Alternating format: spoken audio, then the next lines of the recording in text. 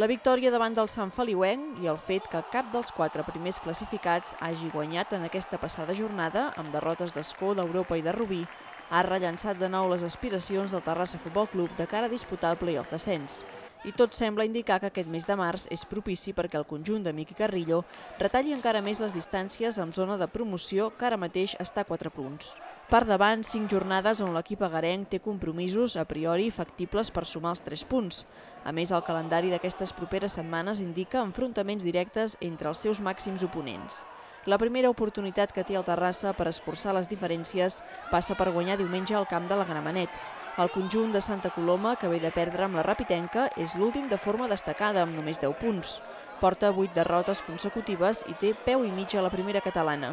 A més, aquesta jornada hi haurà un interessant partit entre la Muntanyesa i el Palamós, cinquè contra sisè, que el Terrassa podria aprofitar per atrapar-los. En la jornada 28, el Terrassa rebrà l'Olímpic al Vilafranca, equip que lluita per no entrar en llocs de descens, mentre que el Cornellà juga amb el Sant Feliuenc. El següent compromís dels de Carrillo sembla un dels més seriosos, ja que visita un equip en forma, el Palamós, tot un examen per als agarencs. Això sí, hi haurà una Esco Europa. A l'Olímpic, a la jornada 30, el Terrassa torna a tenir un partit fàcil contra la Rapitenca, que lluita per la permanència amb un interessant Europa-Rubí. Finalment, l'última jornada de març ha deparat una altra exigent sortida ara a Nou Barris, mentre que el Palamós rebrà el Cornellà.